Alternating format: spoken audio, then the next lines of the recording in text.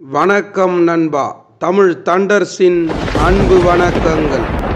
தமிழக அரசு ஊழியர்களுக்கு குட் நியூஸ் அரசாணை வெளியீடு. முழு விபரம் உள்ளே.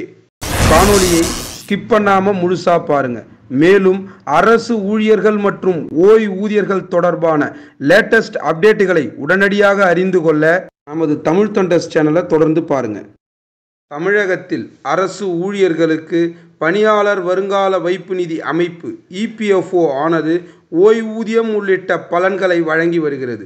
தற்போது இந்த பிஎஃப் தொகைக்கான வட்டி விகிதத்தை உயர்த்தி அரசாணை வெளியிடப்பட்டுள்ளது. இந்தியாவில் அரசு ஊழியர்கள் மற்றும் தனியார் ஊழியர்களுக்கும் ஓய்வூதிய பலன்களை இபிஎஃப்ஓ நிறுவனம் வழங்கி வருகிறது. இதையடுத்து இபிஎஃப்ஓ நிறுவனத்தின் கீழ் கணக்கு தொடங்கியவர்களின் மாத சம்பளத்தில் இருந்து ஒரு குறிப்பிட்ட பகுதியானது பிடித்தம் செய்யப்பட்டு பிஎஃப் கணக்கின் கீழ் சேமிக்கப்படும். பிஎஃப் தொகைக்கு வட்டி விகிதமும் வழங்கப்படுகிறது. இதனால் நீங்கள் ஓய்வு பெறும் போது நீங்கள் சேமித்த பணமும் வட்டி பணமும் கிடைக்கும். இந்த தொகையானது முதிர்வு காலத்தில் உங்களுக்கு பேருதவியாக இருக்கும். பிஎஃப் வட்டி விகிதமானது இபிஎஃப்ஓ முதலீடுகளில் இருந்து இபிஎஃப் பெறும் வருமானத்தை பொறுத்து மாற்றம் செய்யப்படுகிறது. இந்நிலையில் சிறு சேமிப்பு மற்றும் வருங்கால வைப்பு நிதி ஆகியவற்றின் வட்டி விகிதத்தை மத்திய அரசு உயர்த்தியுள்ளது.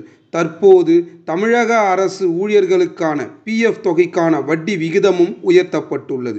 இது தொடர்பாக தமிழக நிதித்துறை செயலாளர் அவர்கள் வெளியிட்டுள்ள உத்தரவின்படி தமிழக அரசு ஊழியர்களுக்கான பிஎஃப் தொகைக்கான வட்டி விகிதமானது ஏழு புள்ளி ஒன்று சதவீதம் என நிர்ணயம் செய்யப்பட்டுள்ளது.